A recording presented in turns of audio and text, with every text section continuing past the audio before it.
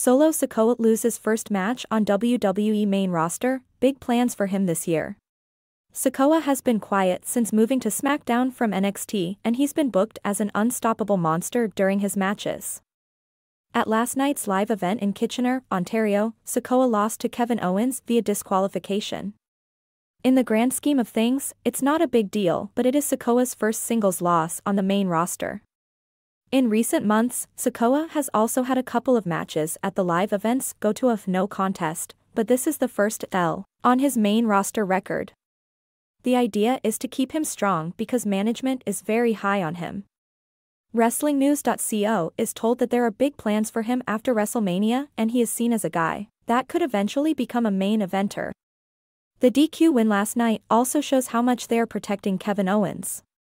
It's not official yet on TV but things seem to be headed toward KO and Sami Zayn reuniting, and challenging the Usos for the World Tag Team titles at WrestleMania.